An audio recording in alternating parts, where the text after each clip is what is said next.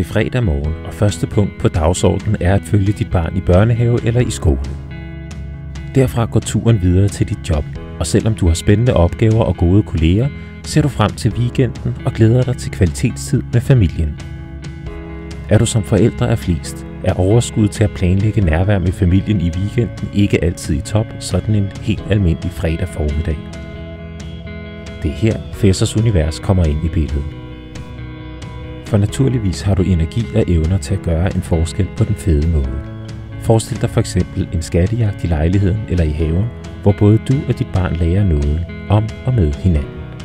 Og har lysten mere til rolig hygge, klarer vi også den. Professors univers er også sjove opgaver, hvor matematikken, modsat i skolen, spiller en birolle.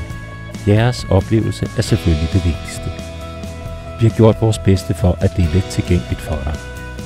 Men vi stopper ikke her, for både til sommer og i de mørke vintermåneder sætter vi trumf på med fede sæsonpakker. Det er, når I har fri, at vi hjælper med at gøre en positiv forskel. Så grib muligheden og sæt strøm på nærværet, for det er egentlig ret let.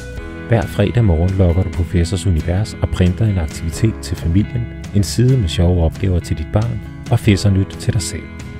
Derfor kan du hele vejen hjem fra arbejde glæde dig til at overraske dit barn. Herfra overlader vi trygt scenen til jer. Det var i øvrigt hele pointen.